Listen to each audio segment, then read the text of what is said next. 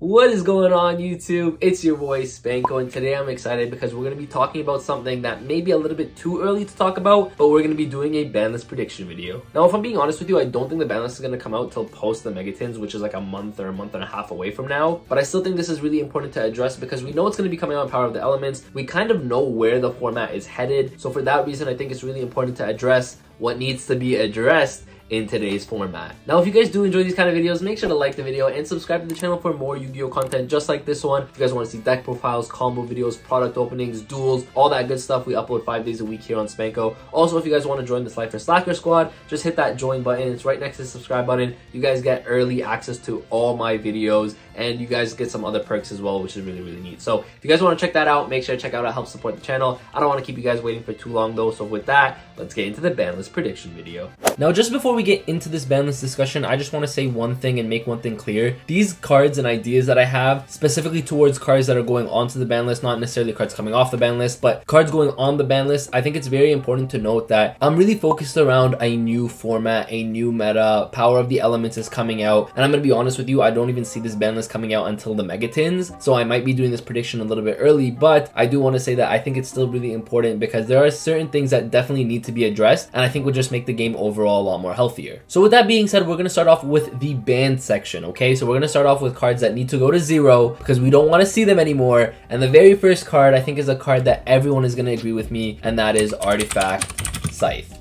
Scythe needs to go. Eh, this card needs to be gone. I remember a couple formats ago, not even the current format that we're in, the one before this, people were saying Scythe needed to go. It didn't go, and to be honest, with the addition of Jet Synchron and just all the combo decks that are relevant right now, like Punk, this card is just so easy to make, and every deck can pretty much make a Scythe lock on top of a Baronne. The thing is, all these Scythe decks are not just ending on Scythe, they're making Scythe and then using the TG Wonder Magician to make a Baronne de Fleur. So I think Scythe just needs to go because without this card, none of those crazy combos can happen. Now, yes, there are decks like Punk that can still do other combos, so don't get me wrong. It's not like Scythe is going to kill certain decks, but the thing is, this is just such an oppressive card I feel like it just needs to go. And honestly, I'm not going to explain it too much because I feel like everyone in the community who's watching this right now is probably in agreement with me. So the next card that I think needs to be banned is another card that's very similar to Scythe in a sense. It's used in a different deck, but it makes that deck just impossible to play against. And on top of that, I should say, I feel like cards that just lock your opponent from not being able to play special summon. For example, Vanity's Emptiness at zero. It's been at zero for a long time. So I think Scythe has to go because of that reason. But I think another card that pretty much does the same thing as Scythe, maybe even a little bit more oppressive because it doesn't really require that much of a setup, and that's Barrier Statue.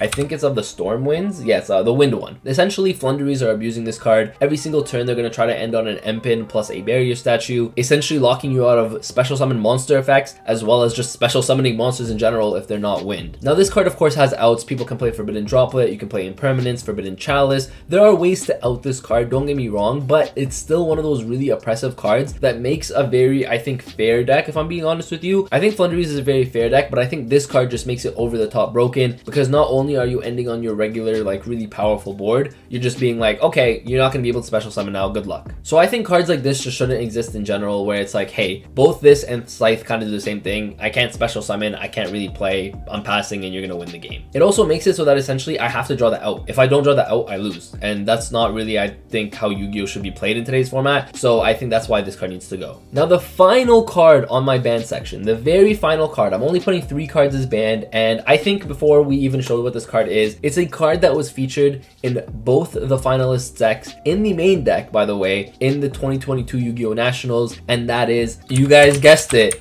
Mystic Mine. This card needs to go. It's been way too oppressive for way too long. Now, yes, there are formats where it's good and there are formats where it's bad. However, I will say the one thing about Mystic Mine is as soon as we saw the Nationals events, I think the YCS Hartford was the one before that, but both a YCS and a Nationals where Mystic Mine essentially just took over the entire room and took over the entire event. Like, think about it this way. The first place winner was playing Sword Soul and main deck 3 Mystic Mine. Now, something like Sky Striker, which Ryan, you played, is kind of more understandable to play the Mystic Mine. However, you can literally just throw it in to Sword Soul, a deck that's never in history played Mystic Mine, and it was kind of like, well, a Mystic Mine just makes it so that if I'm in a losing position, I'm actually not in a losing position anymore. So this card just needs to go. I think Mystic Mine is just one of those cards that's one, just super oppressive, but two, it makes it so that if people are main decking this, a lot of people aren't on back row hate. Now you might argue, well, now you're gonna have to main deck back row hate and deck building is gonna have to change. That's not really how the game works. Because if you think about it, you could argue the same thing with both the Scythe and the Barrier Statue. Well, just don't play decks that special summon. Play True Draco. Like that's that's not how Yu-Gi-Oh works, right? Cards are just really really oppressive like these should not exist in general because it's like as soon as I activate this,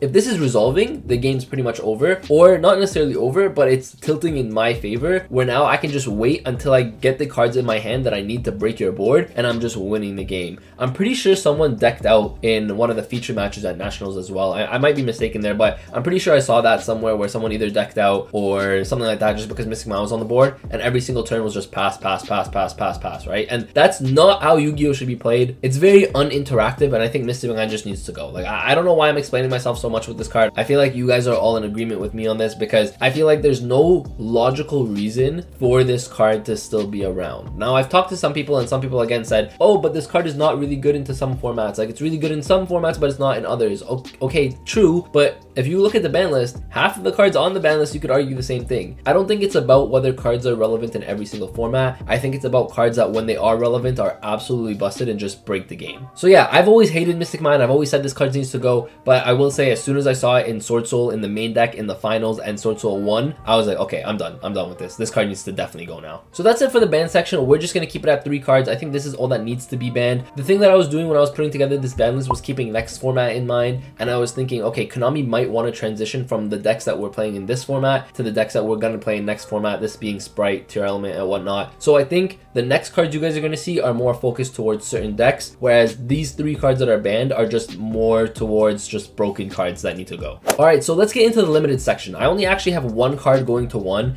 and you guys are going to think it's funny, but I actually really think this card needs to go, and that is Emergency Teleport. Emergency Teleport, I think, needs to go back to one. It was at one for a while, went to three when the Punk stuff was getting released. I guess it was Konami's way of pushing Punk. However, what's happened is E-Tele's just become way too broken because it's made the Punk stuff that shouldn't otherwise be good with the Adventure package become good with the Adventure package. Because now it's like, hey, I have my Rite of Aramesir, but it doesn't matter because I can just E-Tele my Ze Amin and now I still have full combo. So earlier I said how Scythe doesn't really necessarily hurt the Punk deck. This is kind of like a way to actually hit the Punk deck. With E-Tele now at one, it makes it so that I think the deck building becomes a little bit more complicated. You can't just say, I'm going to activate Rite of Aramesir, I'm going to do a whole adventure play, and then I'm going to E-Tele my Ze Amin, and I'm still going to have full combo on you. So that's why I think E-Tele needs to go back to one. It's the only card that I have at the limited section. I don't think anything else needs to go to one. It doesn't really make sense. I was talking to some people, and some people were like, Toadally Awesome needs to go to one, or Winda needs to go to one. Winda might need to get banned because Tearlaments and Tearlaments can abuse those cards. I understand all that logic behind it, but while I agree with some of those statements, like Toad being gone or Winda being gone so that Sprite and Tearlament can't abuse it, I don't think Konami would do something like that because at the end of the day, what do they want to do? They want to push these new decks, and the only way to push these new decks is to make them meta relevant and competitive. So if you just start hitting these new decks,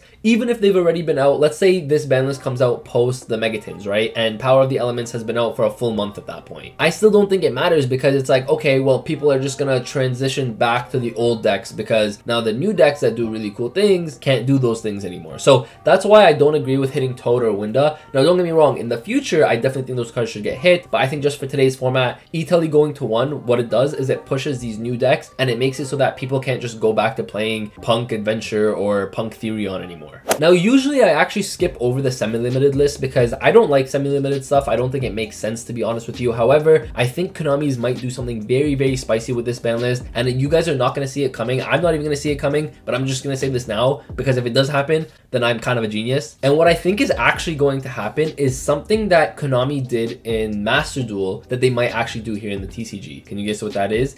I think Rite of Aramesir as well as Water Enchantress are both gonna go to semi-limited status. Now, this is weird, right? It's not something that you would expect or hear someone say. However, the reason I think this is gonna happen, and I know you guys are gonna call me crazy, but just listen, hear me out, right? The reason I think this is gonna happen is because one, they did it in Master Duel. Now, you could argue they did it in Master Duel because they wanted to balance the format, blah blah blah blah. But I think if they want to do the same thing with the TCG, where they want to make the new decks relevant and they want to push like newer stuff and slowly phase out the older decks, I think what they need to do is they need to hurt some of these packages that these older decks are playing. If you think about all these pile decks, they really do rely on this package. So now what I think is going to happen is I think they're going to put Rite as well as Water Enchantress to 2. So it doesn't completely kill the engine, it doesn't completely kill the package. However, what it does is it makes it so that this package isn't as prominent and in the upcoming format, what ends up happening is you can't just slap Adventure into every single deck and make that deck relevant, right? So that's kind of where I'm at with this. This is one of those things where I think it would actually happen and if it did, it wouldn't be that crazy. However, at the same time, when you think about it, it'd be like, yo, Spanko, why the heck would they do this to two? I, I just think it's one of those things that they might do because it just pushes the next thing. Keep in mind that even if this comes out after the Megatins, after Power of the Elements, we have, I think the set's called Darkwing Blast. The, the set after Power of the Elements, that set is also going to be really, really good. And what ends up happening is, why would people keep playing this engine from a year ago where we need to sell the new product? So this is going to be a move that I think is going to be more about a business standpoint more than it is a TCG meta standpoint. I think this is just more of like a, hey,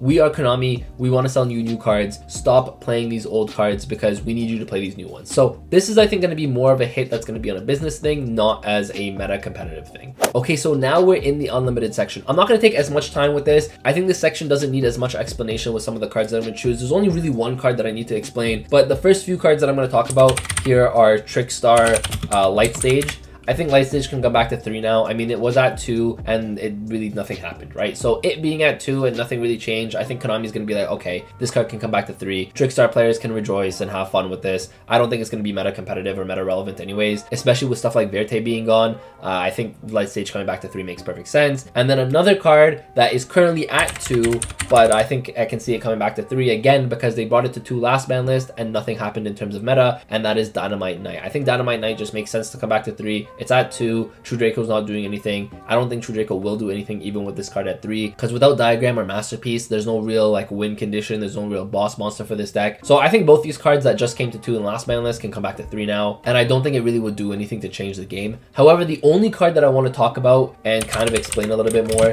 is Fusion Destiny. So Fusion Destiny went to two, not the last ban list, but a few ban lists ago. And I think the reason for this was kind of like, okay, well, now you can't just draw into your Fusion Destiny and then you don't have to make Verte and you can do your full combo, and at the end of the combo, you can go Fusion Destiny, right? So that's kind of the reason I think it went to two. But I think now that Verte is gone, I think it's just one of those cards, especially because DPE is also not seeing that much play right now, and they just released a Starlight DPE. Keep that in mind. They're just releasing a Starlight DPE in Power of the Elements. So for that reason, and for all those reasons combined, I feel like Fusion Destiny can just come back to three and it wouldn't be a big problem. Especially again, the main point that I wanted to bring up is I think because Verte is gone specifically, Fusion Destiny to three does makes a little bit more sense, especially for hero players. And also Power of the Elements is a hero-based set for the most part. I mean, I know the meta decks aren't hero stuff, but there's hero theming in it, right? DPE is getting a Starlight, like I said, as well. So I think Fusion Destiny coming back to three just makes a lot of sense. But but that's really it for the ban list. You guys saw the ban, the limited, the semi-limited, and the unlimited. It's not like a huge, huge ban list that I'm putting together, but I think it's just cards that make a lot of sense. So that is it for today's video. I hope you guys did enjoy. This is kind of where I think the ban list is going to go. Now I know the Rite of Aramesir as well as the Water Enchantress take might be a little bit out there, but I really think from a business perspective, it makes sense in Konami's eyes. However, if you guys have any suggestions or have any ideas that you guys think should be on the ban list, make sure to let me know in the comment section down below. There's a lot of other cards that I could have included. I wanted to talk about Harp Horror. You know me, I'm an Orcust player. I love Orcust, but I just didn't see it happening. Maxx C is another one, but there's no way Maxx C's coming back with Sprite format because that would be just way too broken, right? So for all those reasons, there are a lot of cards that I would have added, but I chose not to because it just didn't make sense. But if you guys have any ideas, let me know in the comment section down below. That's how we get ideas and build together as a community. You know, that's really, that's really important to me. The Spanko is is not a me. It's I mean, I guess I am Spanko, but Spanko is a community in large. So yeah, I really want to know what you guys think. Thank you guys all for watching. Make sure to like and subscribe if you guys did enjoy today's video. I appreciate every single one of you. And with that, Spanko signing out. Peace.